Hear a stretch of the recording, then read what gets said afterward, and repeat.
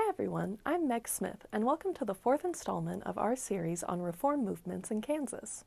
In this video, we will learn about populism and the populist movement of the 1890s. In political science, populism is a type of political movement that aims to appeal to ordinary people who feel that their concerns are ignored by the powerful elite. In this video, when we refer to populism, we are talking about the reform movement that occurred in the late 19th century. The populist movement was in response to the wealth inequality of the Gilded Age, leading to the creation of the People's Party, whose members were called populists. The Gilded Age saw a rise in industrialization, which created a lot of wealth for a select few families. 5% of American families held most of the wealth, while the rest of the country lived below the poverty line. Farmers faced especially hard times. At the end of the Civil War in 1865, improvements in technology created new, advanced farm equipment that cut time and labor costs for farmers.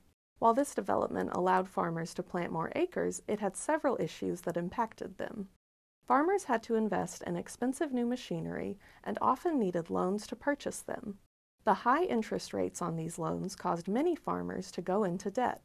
The advances in farming technology also meant that farms were producing more food than the market needed, causing food prices to fall. In the late 1800s, Kansas experienced a series of droughts that made it difficult to grow crops.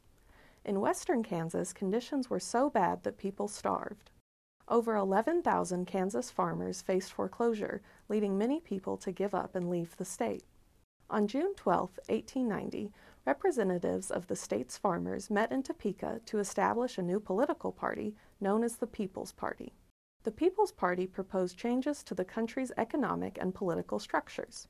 These proposed changes included break up monopolies and trusts, create an income tax with a sliding scale so that the wealthy paid a higher percentage than the poor, government control of the railroads, telegraph, and telephones, election reforms including the election of U.S. senators by the people rather than by state legislatures, a process by which the people could create laws known as a referendum, the ability of the people to recall elected officials. Even though they could not vote, women played an important role in the populist movement. Mary Elizabeth Lease was one of the most famous populists in the country. She originally came to Kansas to teach, but soon found herself campaigning for temperance, suffrage, and equal rights. She was a powerful speaker and delivered over 160 speeches during the populist campaign of 1890. In the election of 1890, Kansans elected 92 populist legislators and gained control of the state House of Representatives. Populists also won most of the U.S. congressional seats. One of these populists was Jeremiah Simpson, a rancher from Medicine Lodge, Kansas. His opponent in this race was James Reed Hallowell, an attorney for a railroad company. Simpson described his opponent as a prince who wore socks made of silk, suggesting Hallowell was out of touch with most Americans. Hallowell fired back that it was better to have silk socks than none at all.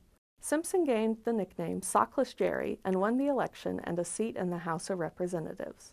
At this time, U.S. senators were selected by state legislatures, not the voters. Having gained control of the Kansas legislature, the Populist elected William A. Peffer, a lawyer and newspaper editor, as the first populist U.S. Senator. The 1892 election saw the People's Party take control of the Kansas State Senate, and it appeared to take control of the House of Representatives.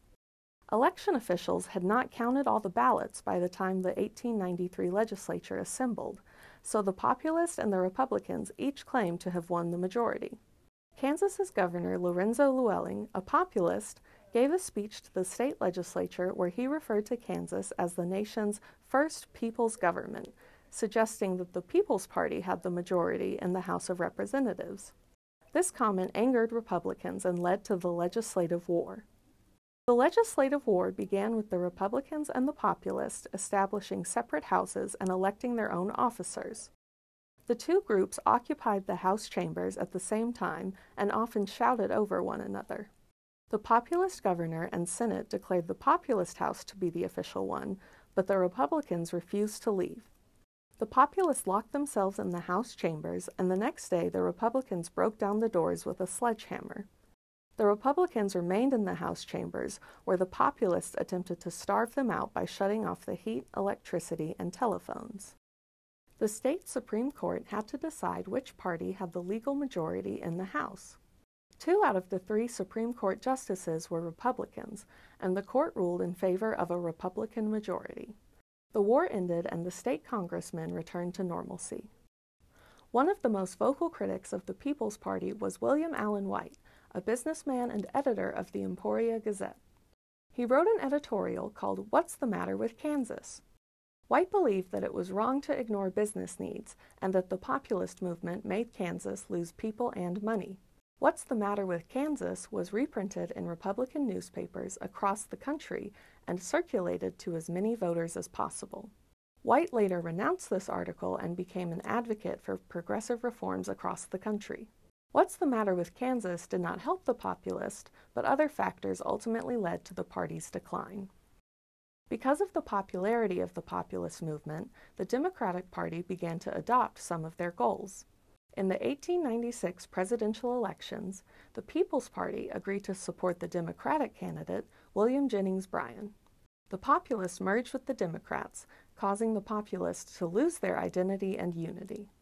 The party rapidly declined and was disbanded in 1908. Thank you for watching. Our next video will cover socialism in Kansas, which grew after the end of the Populist Party.